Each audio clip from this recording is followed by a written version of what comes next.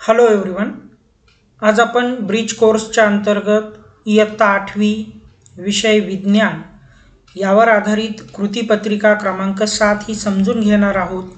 त्याचबरोबर या कृतीपत्रिकेवर आधारित जो काही सराव संच आहे तो या व्हिडिओच्या माध्यमातून आपण सोडवणार आहोत. मग नेमकी काय समजून घ्यायचं आहे आपल्याला? तर अन्न बिघाड किंवा अन्न नासाडी अन्न रक्षण किंवा अन्न भेसळ याविषयी आपण थोडक्यात माहिती बघणार आहोत. मग अन्न बिघाड म्हणजे काय? मग ज्यावेळेस अन्नाचा वास येतो किंवा त्याचा रंग बदलतो त्याची चव बदलते मग हे सगळे बदल झाले की ते अन्न बिघडले आहे असं आपण त्याला म्हणत असतो. जसं खालील चित्रांचं जर निरीक्षण केलं तर अचित्र ब क आणि ड यामध्ये अन्न आणि त्याचबरोबर त्याचं जे काही खराब होण्याची कारणं आहेत त्या ठिकाणी आपल्याला चित्राच्याद्वारे दिसत आहेत. बरोबर आहे. मग अन्न बिघाडण्यास कारणीभूत काही घटक असतात. मग जसं हवेमध्ये काही घटक असतात मग हवेतले जे काही सूक्ष्मजीव आहेत त्या सूक्ष्मजीवांमुळे अन्न खराब होतं. किंवा पाणी किंवा जमीन यांच्या संपर्कामध्ये जर अन्न आलं जास्त वेळ तरीसुद्धा अन्न बिघडू शकतं. काही वेळा निसर्गात मिळणारे पदार्थ किंवा मानवी प्रक्रियेमुळे सुद्धा अन्न बिघाड होऊ शकतो. किंवा जे काही प्राणी आहेत त्या प्राण्यांमुळं सुद्धा अन्न बिघाड होऊ शकतो. सूक्ष्मजीव जसे या ठिकाणी तुम्हाला दिसत आहे की त्यावरती माशा वगैरे बसत आहे त्या अन्नावर. म्हणजेच ते अन्न खराब होत आहे. मग अशा वेगवेगळ्या कारणातून अन्न बिघडू शकतं ही त्याचे किंवा हे कारणीभूत घटक आहेत आपण असं म्हणूया. त्याचबरोबर जास्त अन्न शिजवलं तरीसुद्धा ते खराब होऊ शकतं. ओलसर जागी किंवा साठवून ठेवलं त्या ठिकाणी तरीसुद्धा अन्न बिघाड होऊ शकतो. मग अन्न नासाडी याची दोन पद्धती आहेत. मग अन्न नासाडीच्या दोन पद्धती कोणत्या आहेत? एक आहे संख्यात्मक अन्न नासाडी आणि दुसरं आहे गुणात्मक अन्न नासाडी आता संख्यात्मक अन्न नासाडी म्हणजे काय माहिती का? की थोडक्यात संख्येच्या स्वरूपामध्ये. त्या ठिकाणी संख्येचं प्रमाण आपल्याला दिसत असतं अन्न नासताना आणि गुणात्मक म्हणजे काय? तर त्या अन्नातलं जे काही गुण आहेत ते गुण त्या ठिकाणी कमी होत कमी कमी होत जातात. मग ती झाली गुणात्मक अन्न नासाडी मग संख्यात्मक अन्न नासाडी काय असते? बघा की शेतकरी जो असतो तो शेतकरी ज्यावेळेस शेती करतो पेरणी करतो त्यावेळेस पेरणी करताना जर मुठीने पेरणी केली तर त्या ठिकाणी जे काही धान्य आहे ते एका जागेवर न पडता मुठीमध्ये घेताना बऱ्याच वेळेस त्या मुठीत न येता मुठीतून खाली थोड्याफार प्रमाणात पडत असतं. मग त्या ठिकाणी संख्यात्मक नासाडी बघायला मिळते.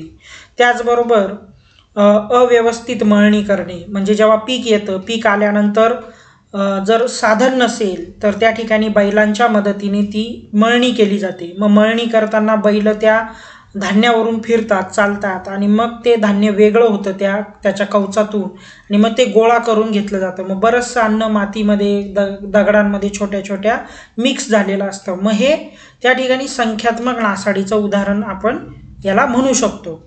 किंवा अयोग्य साठवण व वितरणाच्या चुकीच्या पद्धती यामुळे सुद्धा संख्यात्मक नासाडी आपल्याला बघायला मिळते.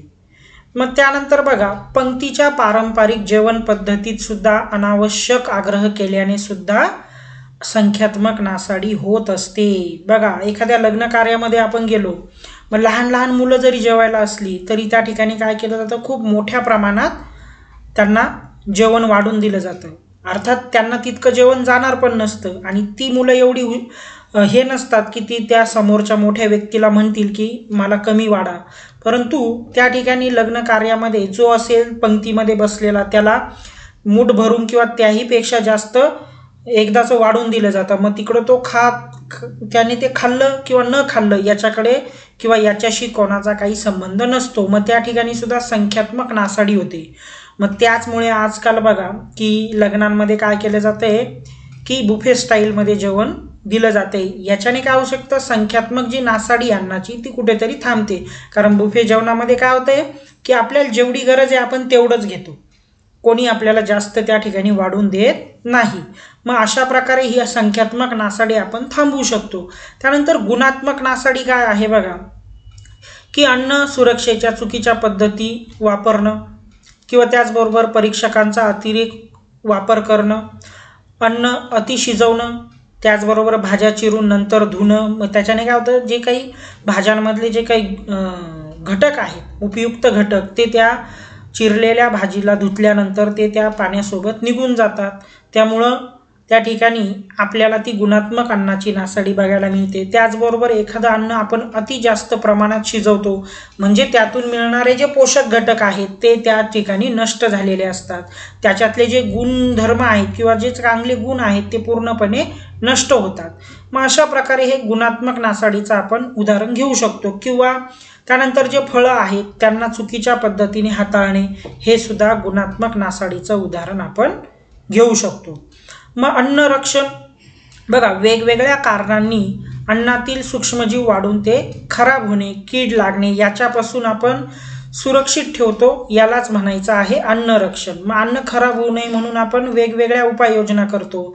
जसं काही वेळेस आपण अन्न काय होतं जे रात्रीचं उरलेलं जेवण आहे ते आपण फ्रीजमध्ये वगैरे ठेवतो. ज्यांच्याकडे फ्रीज नाही आहे ते काय करतात? गार पाण्यामध्ये एक भा भांड्यामध्ये खूप गार पाणी घेतात आणि त्यामध्ये ते वरण किंवा भात जे काय उरलेलं असेल ते त्या पाण्यात ठेवतात. म्हणजे अशा वेगवेगळ्या उपाययोजना करून जेव्हा अन्न सुरक्षित केलं जातं त्याला आपण म्हणूया अन्न रक्षण. त्यानंतर अन्न परिरक्षण. यातील अंतर्गत घटकांमुळे होणारा बिघाड टाळून अन्न दीर्घकाळ टिकवण्यासाठी त्यामध्ये वेगवेगळ्या परीक्षकांचा वापर केला जातो. या पद्धतीला अन्न परिरक्षण असे म्हणतात. मग आता अन्न परिरक्षणामध्ये काय होतं की बघा जसं वेपर्स वगैरे आहे बरोबर आहे? जे हवाबंद पॅकेट असतात मग त्या हवाबंद पॅकेटामध्ये ते जास्त दिवस टिकवण्यासाठी आपण त्या ठिकाणी अन्न परिरक्षकाचा वापर करत असतो. मग त्यामध्ये वायूंचा वापर करून नायट्रोजन वायूचा वापर करून त्या ठिकाणी त्या पाकिटाला जास्त कालावधीपर्यंत आपण टिकवण्याचा प्रयत्न करतो. किंवा लोणच्याचं उदाहरण घ्या. मग लोणच्याचं लोणच्याला दीर्घकाळ टिकवण्यासाठी आपण त्याच्यात पुरेपूर प्रमाणामध्ये तेलाचा वापर करतो. त्याचबरोबर मिठाचा वापर करतो. यामुळे काय होतं की जे लोणचं आहे ते वर्षभर दोन वर्ष कालावधीपर्यंत टिकून राहतं. मग अशा पदार्थ म्हणजे अन्नाला टिकवण्याच्या ज्या काही घटकांचा आपण वापर करू त्याला म्हणायचं आहे अन्न परिरक्षण. ठीक आहे? आता अन्न रक्षण पद्धती या ठिकाणी आपण बघणार आहोत. की सात प पद्धती आहेत. त्याच्यामध्ये आपण पहिले बघूया की गोठणीकरण ही पहिली पद्धत आहे अन्नरक्षणाची. मग कमी तापमानाला पदार्थातील जैविक व रासायनिक प्रक्रियांचा वेग मंदावतो. त्यामुळे अन्नपदार्थ खूप काळ टिकू शकतात. म्हणजे ते गोठून ठेवले जातात आणि त्याच्यामुळं काय होतं तो पदार्थ जास्त दिवस टिकतो. वायूंचा वापर बघा. वेपर्स खाद्यपदार्थ हवाबंद पिशव्यांमध्ये बंद करताना नायट्रोजन वायूचा वापर करून कीटक व बुरशी यांना आळा घातला जातो. म्हणजे नायट्रोजन वायूचा वापर करून ते अन्न टिकवलं जातं किंवा ही अन्नरक्षणाची एक पद्धत झालं. त्यानंतर परीक्षकांचा वापर मग मीठ झालं साखर झालं तेल झालं. हे काय आहेत सर्व परीक्षक आहे की जे त्या अन्नाला टिकून ठेवतात. मग हे नैसर्गिक परीक्षक आहेत. याच्यामध्ये दुसरा रक्ष नाही परीक्षकाचा प्रकार म्हणजे रासायनिक परीक्षक. मग याच्यामध्ये ॲसेटिक आम्ल आहे म्हणजेच विनेगर सायट्रिक आम्ल आहे सोडियम बेन्झॉईट तसेच काही नायट्रेट्स व नायट्राईट्स क्षारांचा वापर करून सॉस जेली जाम इत्यादी तयार करतात जेणेकरून ते जास्त कालावधीपर्यंत टिकावे. म्हणून त्या ठिकाणी रासायनिक परीक्षक वापरून तो पदार्थ बनवला जातो. मग वर्ष वर्षभर तो पदार्थ त्या काचेच्या बाटल्यांमध्ये टिकून राहतो. आणि नैसर्गिक पद्धतीने जसं लोणचं टिकवायचं असेल तर त्यात मीठ आणि तेलाचा पुरेपूर वापर करून ते टिकून ठेवलं जातं. मग या प्रकारे परीक्षक वापरून सुद्धा त्या ठिकाणी तो पदार्थ जास्त वेळ टिकून ठेवला जाऊ शकतो. त्यानंतर पाचशीकरण बघा या पद्धतीमध्ये दूध किंवा तत्सम पदार्थ विशिष्ट तापमानापर्यंत तापवले जातात आणि लगेच थंड केले जातात. याला पाचशीकरण पद्धत म्हणतात. मग दुधामध्ये बघा ती दूध जास्त वेळ टिकावं म्हणून काय केलं जातं की ऐंशी डिग्री सेल्सिअसला त्याला तापवलं जातं पंधरा मिनटं आणि ताबडतोब लगेच त्याला थंड केलं जातं. त्यामुळं काय होतं दुधामधील जे सूक्ष्मजीव आहेत त्यांचा नाश होऊन दूध हे दीर्घकाळ टिकत असतं.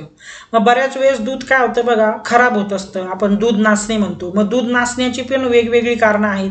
काय आहे की आपण दूध तापवल्यानंतर ते लवकर थंड करत नाही. आणि लवकर थंड न झाल्यामुळे त्या ठिकाणी ते दूध नाचतं किंवा दुधामध्ये जे सूक्ष्मजीव असतात. मग आपण जर अर्धवट जर दूध तापवलं तर त्यामुळे सुद्धा दूध नाचण्याची शक्यता असते. किंवा आपण दूध द्या ज्या भांड्यामध्ये तापवत आहोत ते भांडं कोणत्या धातूचं आहे?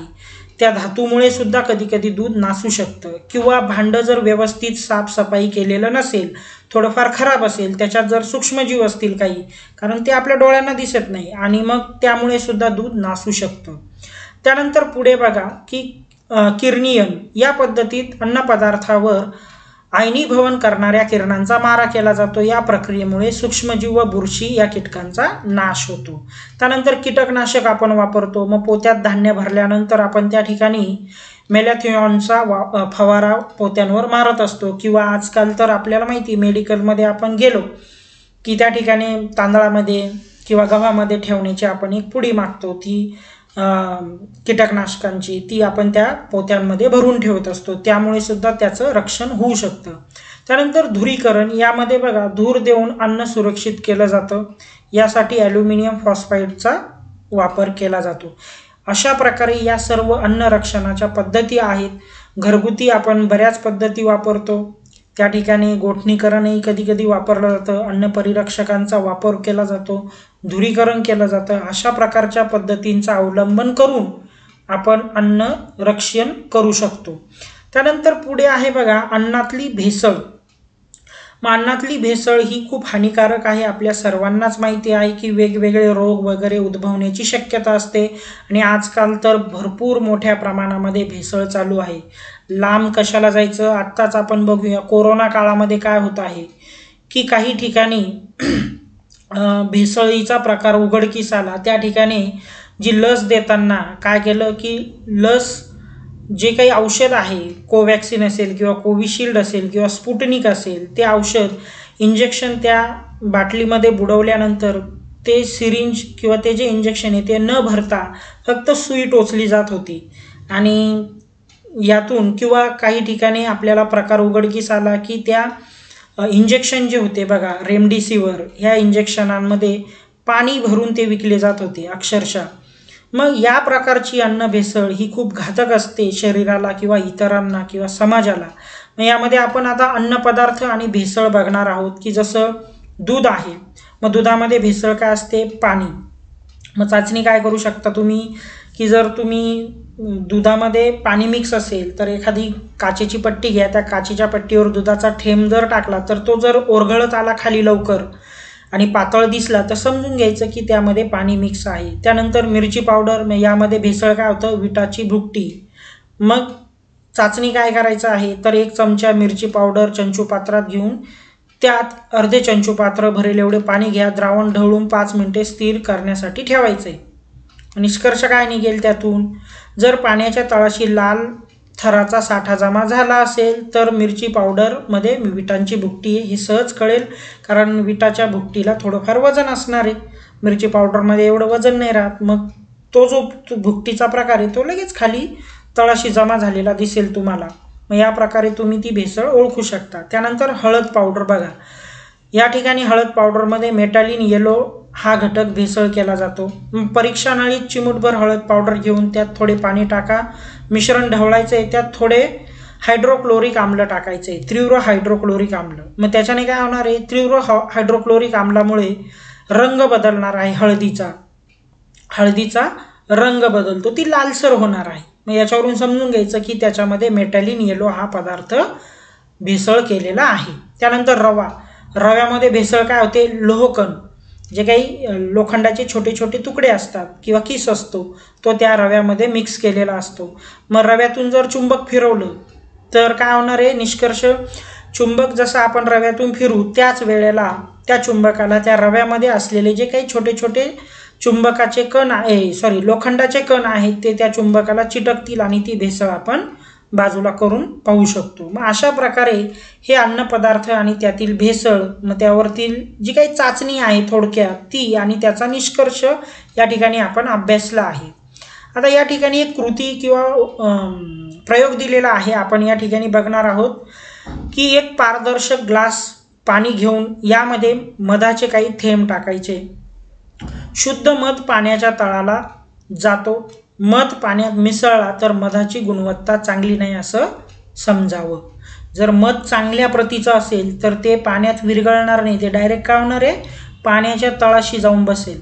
आणि जर मध हे भेसळयुक्त असेल तर ते पूर्णपणे त्या पाण्यामध्ये विरघळून जाईल. हे तुम्हाला लक्षात ठेवायचं आहे मधाच्या बाबतीत. त्यानंतर अजून एक प्रयोग आहे जसं का एक पारदर्शक ग्लासात पाणी घेऊन यामध्ये काळी मिरी टाका. काळी मिरी असतील तर काय होणार आहे? त्या पाण्याच्या तळाशी जाऊन बसतील. मात्र पपईच्या बिया असतील तर त्या पाण्याच्या वरती तरंगताना दिसणार आहे तुम्हाला.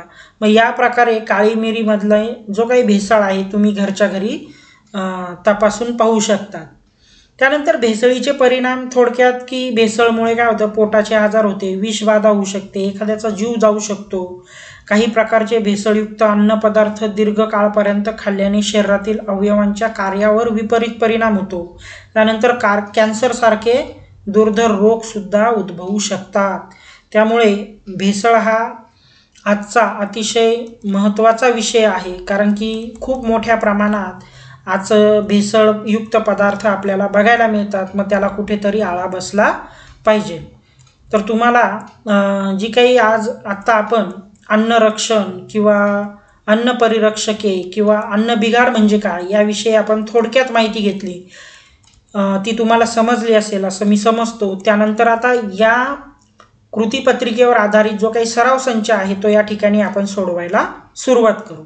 मग प्रश्न पहिला बघा खालील चित्रातील दूध कशामुळे खराब झाले असेल?